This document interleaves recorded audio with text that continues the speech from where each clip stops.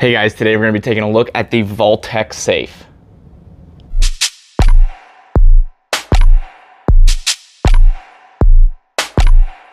Let's get right into the first 30 second breakdown. This is the process we're in the first 30 seconds, give or take, I give you guys my exact thoughts on this product before we get into the whole review.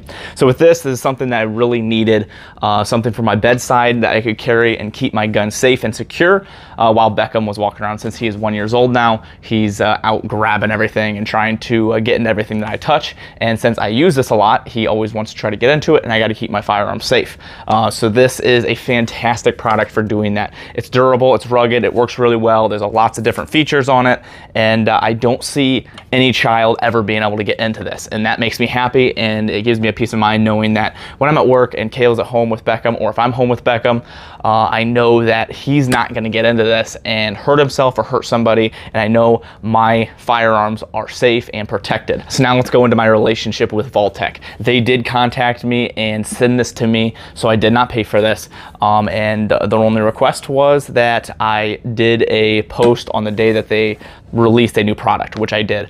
Uh, other than that, they didn't require me to do a review. I just really like this product and I would like to show you with you guys uh, my thoughts on it. All right, so let's get right into the review now. Now, first off, this is not just a firearm safe. I use this for multiple other things. You can use it for money, jewelry, things like that. You don't have to use it for firearms. I just personally use it for firearms and money because I wanted something to protect against Beckham walking around and making sure all my firearms are safe. So you can use this for a lot of different things, not just firearms, which is pretty cool. So let's get right into the ways to open this up. So you got three different ways on this one. Um, there are some different models that you can open up differently. You have like a key fob, a swipe thing for your bracelet, and then I believe you can do it through your phone as well. So for this one, the way you open it is you have biometric here on the front, which you just put your thumb on it and it pops open like that. You have a passcode, which I'm not gonna show you my passcode, but you can pop it open that way, which that's actually fairly quick. And then you also have a key feature down here. If your batteries go bad or you don't wanna use those, you can use the key in the front, which is nicely hidden there behind the logo. So it doesn't really stick out a ton and make people think that's a key right there. So you've got those three different ways to do it. And uh, depending on what you wanna do, or if your battery goes bad, you have multiple different options. So one of the biggest questions I had, and I get a lot of people asking, is the consistency with the biometric. Uh, when I first got this, I was having really bad consistency with it. It was about 50% that it would actually open. Sometimes, like, I'm gonna try to get it to not open here. So there, that's what happens when it doesn't open. So I was having about 50% consistency with it actually opening versus not. I contacted Vaultek. I said, hey, I'm really having some issues with this. And that's kind of a make or break for a safe like this because the biometric is a really key feature.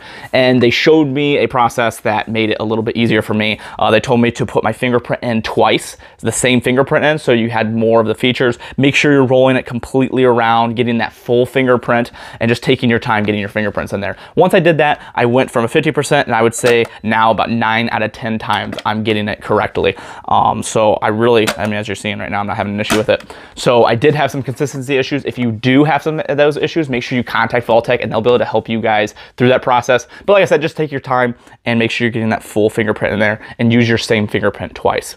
Now, another problem that I thought about was if you're in a stressful situation, are you gonna be able to get your thumb on this thing and do it slow enough and consistent enough to get that open when you need your firearm? Um, I was in one stressful-ish situation.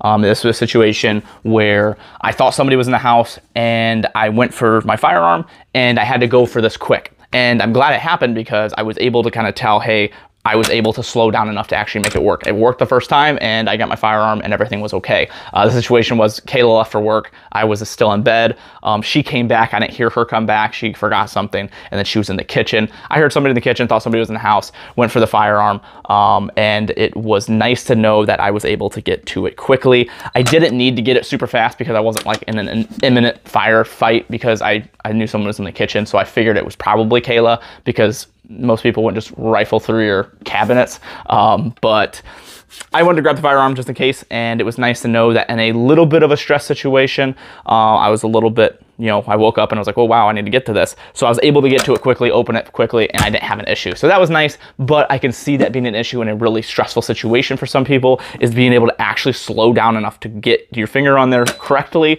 and do it without not making it beep out. Because the problem is if you don't do it correctly, which if you don't do it correctly, let's see if it, that's kind of a long time to wait. And then you have to wait and then you have to go put your passcode in and now you can get to your firearm. So almost in those situations, I would almost just recommend going straight for your passcode and staying away from the biometric. Use the biometric for everything else, but I think the passcode is the way to go in a high stress situation because the last thing you want to do, somebody's in your house, crap, okay? Now I can get to my firearm. I'd rather just go straight to that and get to it quicker because uh, nine times out of 10, this is gonna work as well. So that was one of the issues that I kind of thought about, but I have not been in a stressful enough situation to really be able to tell. And hopefully I don't ever have to be a stressful situation to have to run and get this, but it's just something I noticed. Another question I get asked a lot is the size. How big is it and what can you fit in it? Normally what I have is I'll have my Glock 19 set in here and then I'll have an extra magazine and then I'll have a little bit of cash over here as well. So that fits very easily in there.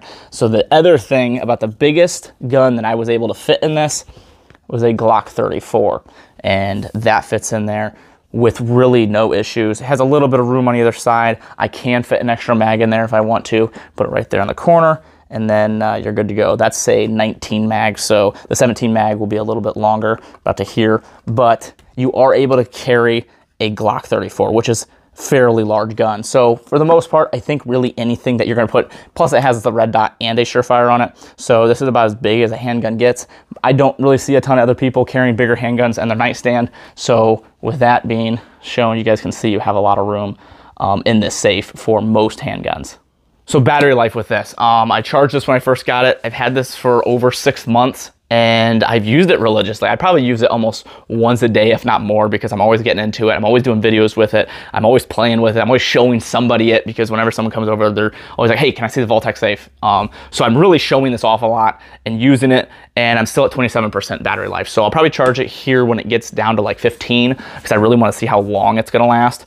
Um, actually, I'll probably let it die completely and then I'll recharge it and then, then I'll probably keep it at that 25% battery life. I want to see how long it lasts and it's lasted me quite a while. It really doesn't take that much battery life to uh, do. The only things that it's going to be using for battery when it's actually sitting there is, which I'll let it turn off here in a second, um, these lights, they have a proximity scanner, which they turned off now. If you get near them, it's going to turn on. So at nighttime, which is in my bedstand, my bedstand, and it's really dark in our bedroom, if I have to get to this, I open up the drawer or just have it there on the desk, and then I can just wave my hand over it, turns those lights on, and I can at least see my keypad that way.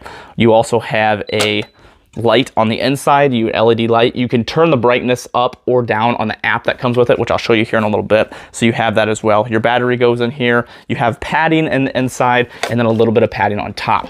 You have these two bolts, which everything is really secure. I'm not gonna go over all the, the tightness and secureness of it, um, but what I will say is this thing is very, very tight, very durable, and I don't see that everything's very tight on the, the seams that it's bolted to, so I don't see someone be able to get a pry bar in here easily. Um, eventually they might be able to if you give someone a long enough time, but if they're in your house for a little bit, they're trying to break in and just take some things, uh, I don't see them being able to pry this and getting it open.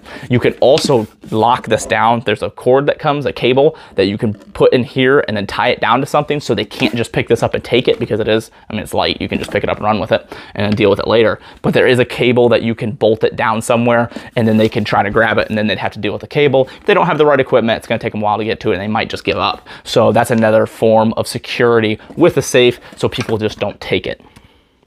Now for the app that comes with us, I'll layer this here real quick. Gives you a couple nice features. It shows you guys battery life, gives you guys a history log, which I just Bluetooth sync this now, and it gave me a history log all the way back from when I got the safe. So it's kind of cool to know that it keeps that all logged into it without even having the app downloaded. So um, You'll see that there, all your logs and everything. And then it gives you the option to have multiple different safes. You can name your fingerprints, go through your fingerprints, delete fingerprints. So you can do a little things here and there with that. You can change the light sensitivity. Um, so the app is a nice little feature to add to that. Uh, it's only like a 2.6 star review. So apparently people have kind of issues with it.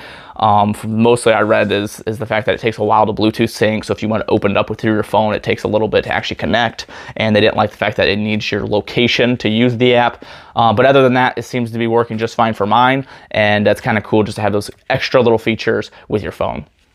So now that we went over all the details, would I recommend this and would I spend my own money on it? Uh, yes, I would 100% recommend this. I do recommend this to a lot of people. a lot of my friends all have kids about the same age as Beckham, and I recommend this to all of them. I think it's a great feature to have, a great product to have, and something that I hope would save uh, my child's life if, you know, kids are curious. And uh, unfortunately, with firearms, you want to have them close to actually be useful in a situation, but you still want them to be very secure. So I, I beg you if you have children get something like this it doesn't have to be this it doesn't have to be expensive um, but please get something that uh, is going to keep your gun safe but still accessible to you because that's the whole point of having firearms is to keep yourself safe and your family safe um, and you can't do that if they're not close to you and you can't do that if they're safe and secure so just my little rant there. Um, but definitely do recommend this, and uh, I would spend my own money on it. I'm gonna buy some more. They have different sizes. They have rifle ones. They have small ones. They have smaller ones that came with like the Hellcat. So they do have different sizes. So depending what your needs are, you guys can get a really small one if you want to throw it in a backpack, or you can get something like this for a nightstand, um, and then you can go up to a rifle size if you want something like that. So I'm gonna try to get the rifle one for you guys to get a review on. I know a lot of people are gonna be interested in these. If you guys would like to get one of your own or a different style, go check out Vaultek. They're making some really cool products. Uh, so I really like the fact that these can be really used for guns fantastically, but you can also use them for money, watches, jewelry, things like that, depending what your preferences and what your needs are. Uh, you can get them and they protect really anything. It's not just firearms. So they have a nice wide variety of things and sizes. So if you guys want to help support my page, go check out my link down in the description. That'll take you straight to my website. From there, you guys can go to different websites like Brownells, Palmetto State, Aero Precision, Premier Body Armor, and anything you purchase using my link gives me a small kickback and shows those companies that I am generating flow, which helps me out a lot and uh, gives me a small kickback to help buy ammo, camera supplies, editing software, and things to make these reviews better for you guys. So I appreciate it. If not, it's not a big deal. I just appreciate you guys like, comment, share, and subscribe. Thank you very much.